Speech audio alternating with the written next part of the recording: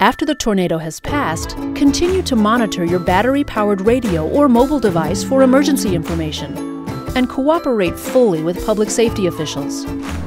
Keep your family together and wait for emergency personnel to arrive. If you are trapped, try to attract attention to your location. Use a whistle or flashlight. Cell phone towers may be down, so send text messages rather than make phone calls. Check for injuries do not attempt to move seriously injured people unless they are in immediate danger of further injury.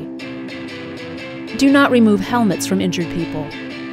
If someone has stopped breathing, begin CPR. Stop a bleeding injury by applying direct pressure to the wound. Be aware of possible structural, electrical, or gas leak hazards in your home. Stay away from power lines and puddles with wires in them. They may still be carrying electricity. Watch out for nails, broken glass, and other sharp objects. Nearly half of all tornado injuries occur post-storm, so use extreme caution to avoid further injuries from debris and damaged buildings. Tornadoes can cause millions of dollars in damages. Make your emergency plans ahead of time and take the necessary precautions to stay safe during and after a twister. Safety is job number one. Get weather ready.